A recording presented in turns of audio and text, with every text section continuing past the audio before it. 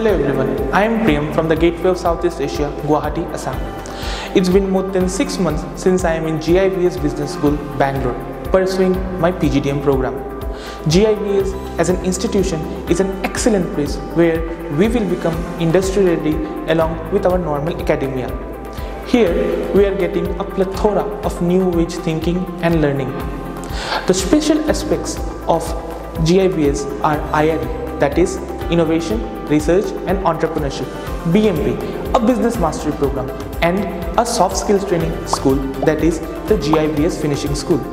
The interesting thing here at GIBS is that apart from our academia, all our additional and skill mastery programs are holding credits. Moreover, because of IRE, we all are having an opportunity to become entrepreneurs and researchers. All faculties are industry oriented. They are very helpful and motivating and always guiding me. I relate myself more to a management student than a science student as the faculties helped us understand all the concepts and topics very minutely and with easy corporate examples. I am glad to be a part of the GIBS family. Thank you.